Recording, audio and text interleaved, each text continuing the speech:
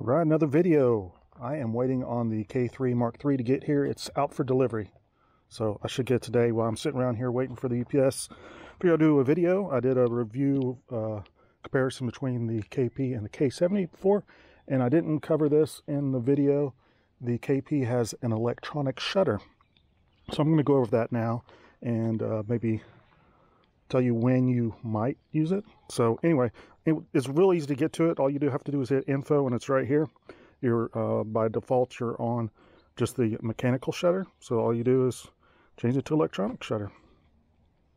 So I'm just going to take one picture now. You hear that?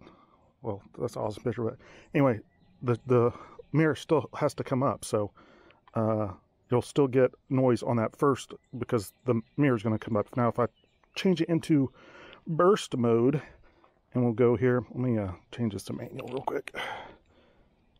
So we get some, geez, um, change it to manual, and I'll put it at like, yeah, 4,000. So it went up, I got my finger on the button, it's still taking pictures. So, I mean, it's underexposed, but it took several, several pictures there. You can see by the number there at the top. So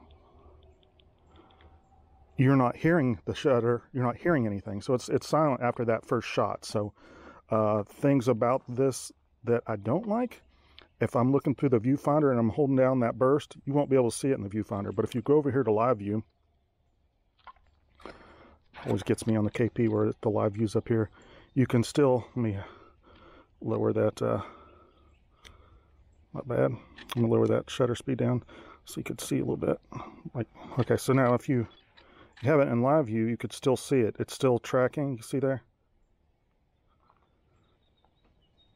But you won't see it like that in the viewfinder. So you have to kind of use live view if, if, if, the subject's moving around a lot. Uh, the other thing about this, uh, let me switch it back and I'll show you. So back to manual shutter. Now if I'm on manual shutter, check, let me get back out of live view. Um, as you notice, my exposure, the, the most I could do is one six thousandth of a second, which is pretty fast. But when I switch it over to electronic shutter, check this out. One, what is that? Uh, 24 thousandths of a second. I don't know what the hell you're shooting at that, but that's uh, that's pretty crazy. I mean, your ISO, I mean, your, yeah, your ISO is going to have to be way up there if you're shooting that. So, I'm not saying it's, look at that. Okay. So my ISO has to be about that at f4. Uh, what, what, when would you use a, not that high, but maybe say like, um, like a lot of cameras go up to one eight thousandth of a second. This only goes to one six thousandths of a second, but you might be able to go to this if, it's say, you're out in the middle of the sun and you have a um, f1.4 lens on there and you want to go f1.4 you won't be able to uh, you'll be overexposed if you're at six thousandth a lot uh, one six thousandth of a second. So it is handy to have that. Will i be using this feature? No.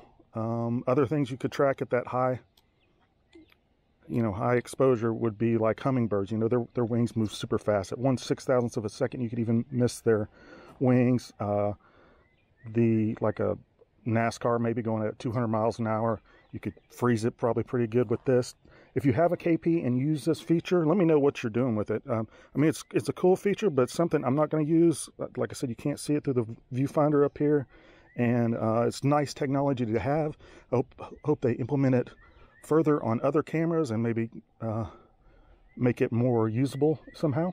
But uh, I just thought I'd go over that. Thanks for watching. Go ahead and subscribe if you hadn't, and I'll be doing a ton of uh, K3 Mark III videos, probably one today, if, if depends what time the camera gets here. But thanks for watching.